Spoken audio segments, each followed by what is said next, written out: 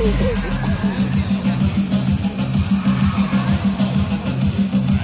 är Galpins drifttaxi vi ser inne på banan just nu. En M5, rätt eh, standard, så standard som nu en M5 är också. Det där är en fyrsitsig driftbil, är väldigt ovanligt. Så och på de stora Galpinfestivalerna så kan man få åka med i de där. Inleder och värmer upp banan. Ja, det har ju blivit ett av...